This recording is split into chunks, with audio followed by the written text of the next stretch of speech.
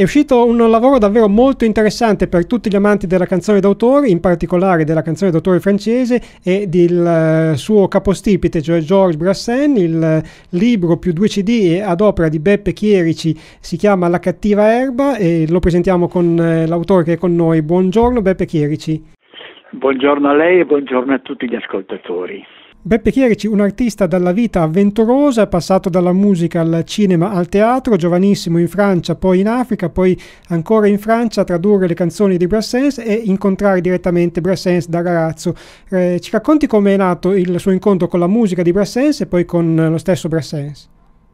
Beh, l'incontro con Brassens è nato, è nato praticamente, eh, essendo piemontese, avendo qualche nozione di francese, ho scoperto così per caso le, le sue canzoni, eh, avevo, avevo vent'anni e mi appassionai immediatamente a questo, questo immenso poeta perché soprattutto per senso non ha scritto canzoni ma ha scritto, ha scritto letteratura e musica per cui vabbè, di lì nacque questa passione. Nel frattempo poi io partii in Africa mi portai dietro tutti i dischi, compresi anche i 78 giri che c'erano eh, su Brassens, e lì cominciai per ascoltarlo e poi piano piano mi venne questa voglia di far conoscere Brassens ai miei amici e quindi farlo conoscere un pochino di più agli italiani, per cui cominciai così in Africa, fra la sera, siccome le, eh, le sere in foresta non è che ci fosse né televisione né radio né niente, insomma, sono messo lì e ho cominciato piano piano a tradurre, poi sono rientrato in Italia,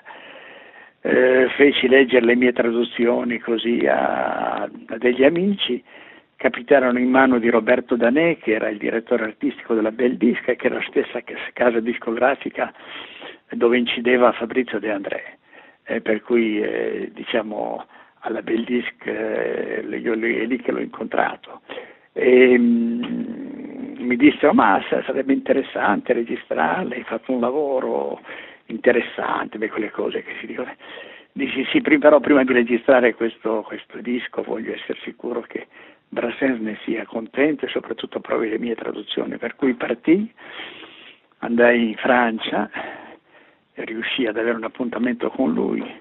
gli portai queste traduzioni, poi tornai in Italia e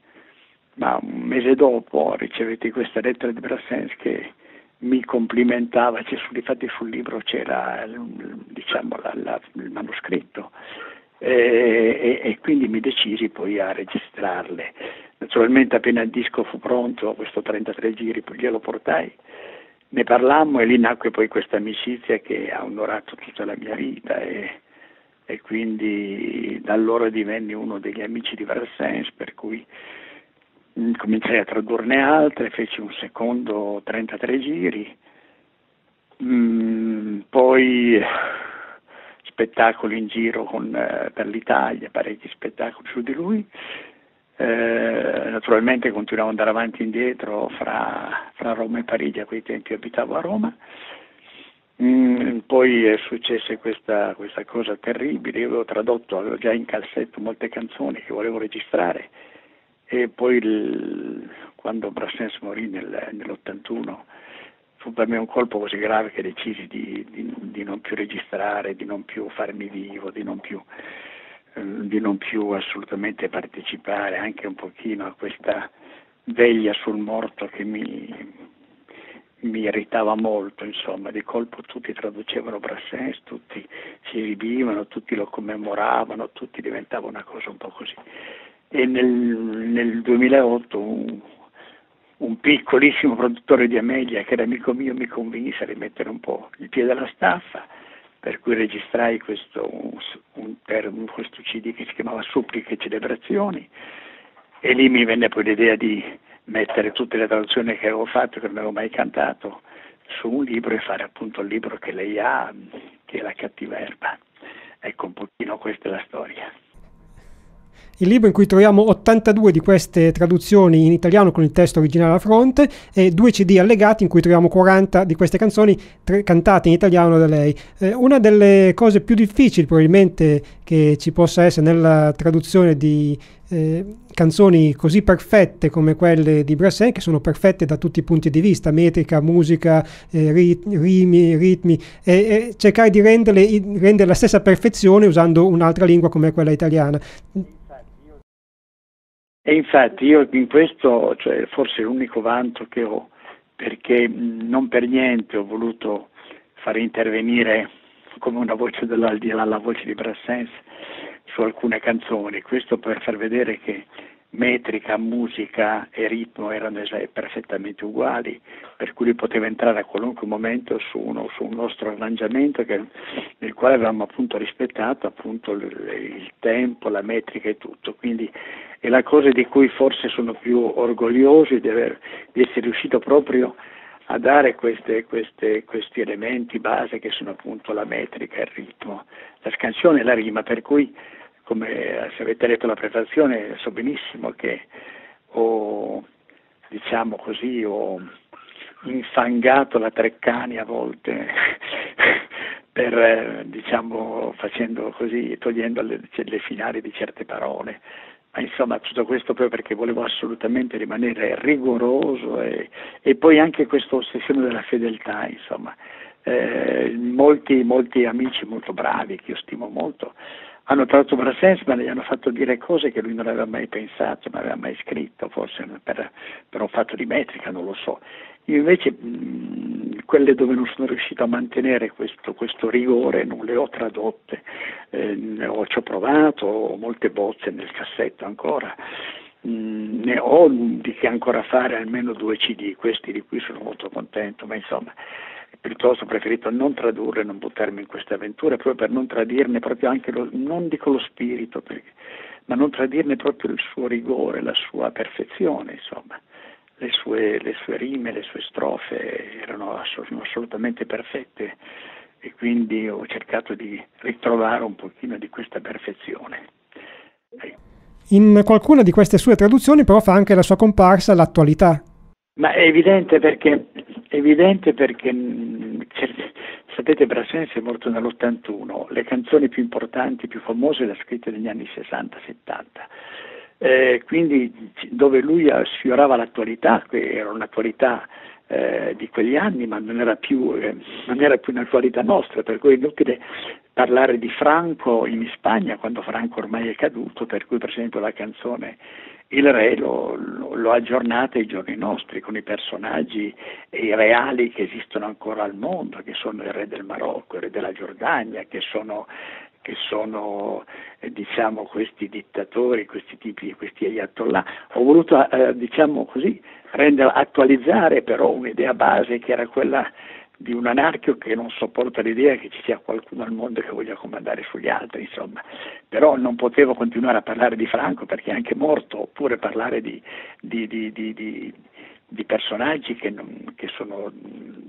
che, sono, o decaduti o deceduti, eccetera. Per cui eh, lì è stata una necessità mia di attualizzare la cosa, ma per il resto invece le canzoni d'amore non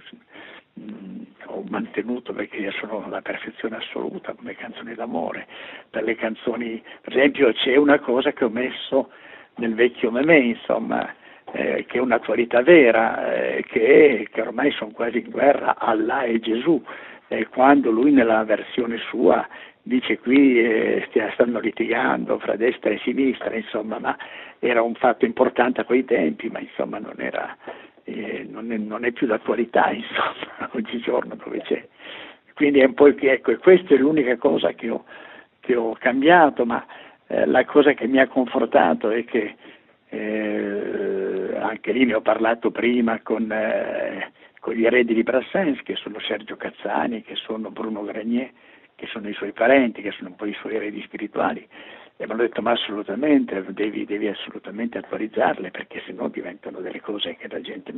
i giovani non sappiano neppure a chi ti riferisci insomma. Io non so quanti giovani sanno oggigiorno che Franco è stato uno dei peggiori dittatori, l'ultimo grande dittatore che ha avuto l'Europa insomma, ma anche sé un personaggio molto, molto cupo e molto tetro. Eh, molti giovani, forse per disinformazione, per disattenzione, non lo saprebbero, insomma. Ecco, questo è, è l'unico crimine di lesa maestà che ho commesso. Un'altra delle grandi doti di Georges Brassens era la grande semplicità delle sue composizioni dal punto di vista musicale e la grande leggerezza di queste canzoni anche quando poi si trattava invece di toccare temi piuttosto seri e pesanti. Ma infatti eh, devo, dire, devo dire che il grande merito, lo straordinario merito di Brassens è appunto che sotto la frivolezza di una canzone ha portato la poesia per le strade, nelle piazze, nelle case in posti dove probabilmente non era mai entrato un libro prima di allora, a parte l'elenco del telefono, quindi ha dato alla canzone i titoli di nobiltà e diciamo mentre um, leggere un poema è una scelta precisa che uno fa, la canzone, soprattutto Brassens ha questo grande merito che è entrato senza bussare nel quotidiano della gente. Vorrei dire che Brassens si è imposto per effrazione, proprio perché per questa eh, facilità eh, di, eh, di, di, che aveva trovato nelle, nelle sue melodie, ma facilità dovuta anche e soprattutto secondo me alla rima, perché eh, la rima è, è, il vero escamotage per memorizzare immediatamente una canzone, insomma, quando non c'è rima è molto difficile memorizzare una canzone, mentre su una canzone ha queste rime così perfette, così facili, eh, con un linguaggio che nel quale anche il pubblico più modesto e più umile si riconosce, ed è questa la grandezza di Brassens, insomma, di aver adoperato un linguaggio che era chiaro a tutti e uno si riconosceva in esso. Quindi eh, è lì dove proprio, e, lo considero che, che, il genio di Brassens è proprio stato questo, di, di, di portare la poesia, eh, di aver fatto appunto, ho detto prima, eh, le, sue, le sue non sono canzoni, ma sulle, sulle letterature in forma musicale, che poi sia molto semplice, anche ci sono delle cose quasi infantili come l'occhetta, come, la, come eh, quelle canzoncine, che sembrano canzoncine, in effetti sono tipo,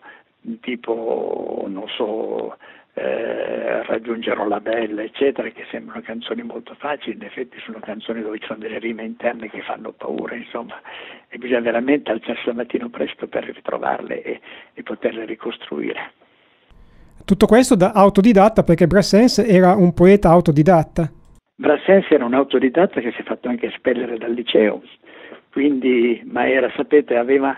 una conoscenza immensa. Brassens eh, sapeva a memoria, dico bene, ma non esatto, migliaia di poemi, sape, conosceva a memoria tutto Victor Hugo, tutte le poesie di Victor Hugo, conosceva a memoria tutte le poesie di Rimbaud, di Verlaine, eh, di, di, Baudelaire e, e, di Paul Fort, poi non parliamone, quindi era proprio un uomo che si nutriva di poesia e poi riusciva ad avere questa sua immensa personalità unica eh, nel, nel, poi, nel, nel, fare delle canzoni che, come ripeto, eh, non sono canzoni, ma è veramente un, le letterature in forma musicale, ma è veramente nelle quali però tutti si riconoscono, il pubblico riconosce il proprio linguaggio, riconosce le cose che capisce, eccetera, e questa è la sua grandezza sicuramente. Diciamo che il più, più grande poeta, più grande poeta popolare del suo secolo in assoluto, insomma. Da questo libro è nato anche uno spettacolo che racconta la musica di Georges Brassens e verrà presentato in anteprima il 16 e poi farà il giro per tutta l'Italia. Il giorno 16 eh, a Cuneo farò appunto un, diciamo un pochino una prima di, di, questo mio recital che intendo poi portare in giro per l'Italia che si chiamerà appunto Beppe Chierici canta Brassens e lo racconta. Le informazioni sullo spettacolo di Beppe Chierici, presentazione in anteprima del lavoro La cattiva erba, le trovate sul nostro sito radiogold.it. Ora l'informazione continua su Radio Gold News.